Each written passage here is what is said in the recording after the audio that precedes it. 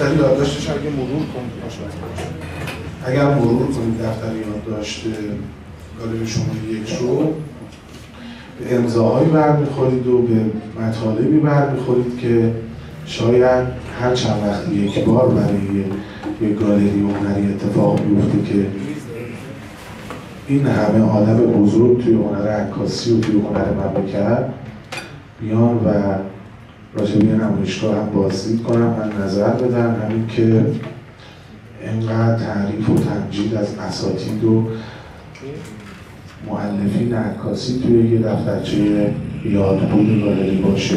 این افتخار حاصل شد به سبب حضور استاد بهروز آل در خانه عکاسان ایران. مختصری راجع آل نداف بنده فقط در حد وظیفه هم عرض می‌کنم. چون اصلا به نظر احتیاج معرفی ندارن همه دوستان حتما با ایشون آثارشون آشنا شدن.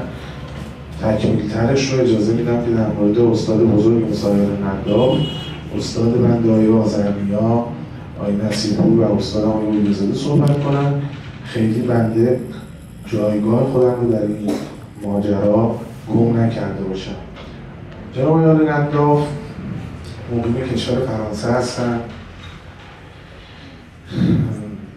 همونطور که همه توی بیوگرافیشون تو گالری دیدن ایشون از کودکی به هنر علاقه بود علاقه من بودن. با راهنمایی پدرشون روز به روز توی مسیر گام های مترقیتری رو برداشتن.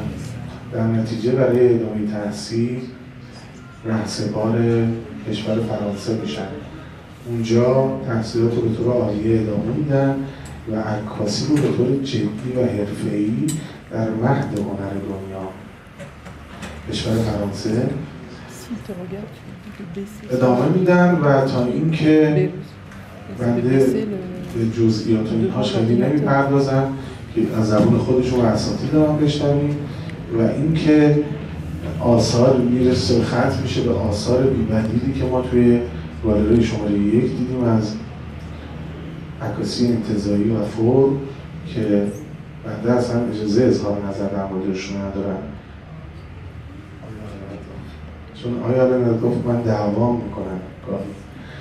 به همین جهت و یه پرانتزی هم که باز کنم از نظر آیار نداف صبحانه مهمترین وعده غذاییه. اینو من ثابت شد. اصخایی می‌کنم. خواهش می‌کنم به افتخار موی سپید اساتید بنده که اینجا نشستن یه تشویق حال جلسه رو خوب کن انجام بدید که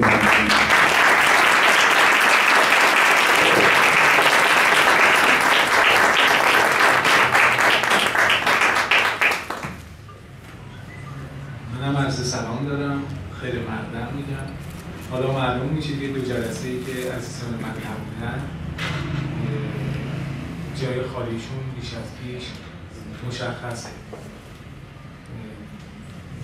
مجددا هم قلبا هم قبلا از آقای دکتر زده که محبت می‌کنن این فضا فراهم میشه. بتونیم خدمت دوستان باشیم. عرض تشکر دارم. خب نوید خوبی بود که آقای حمزه اعلام کردن. سال آتی بتونیم هم در محتوا هم در اجرا تغییراتی حاصل بشه.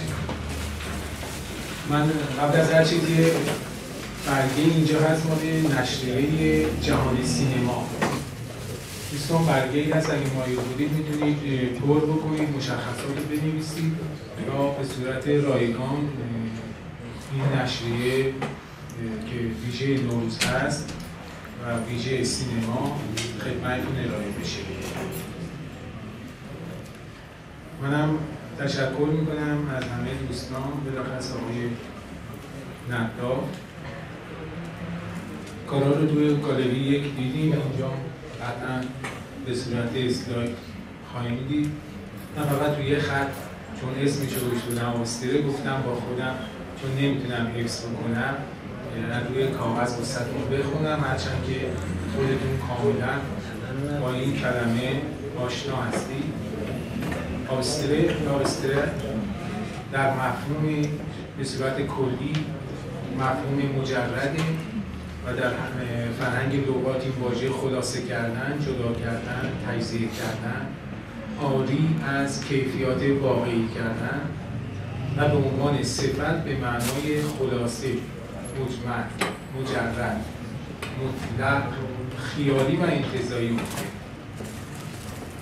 در فارسی بیشترین واژه به معنای انتظایی یا تجدیدی اومده. انتظا به معنای جدا شدن از چیزی آبستره در هنر در هم ریختن فرمه. حالا خود این جمله زیر سواله. نمی‌تونه یقینا فرمو تغییر بده چون خود فرم مجموعی از موضوع محتوا خواهد بود.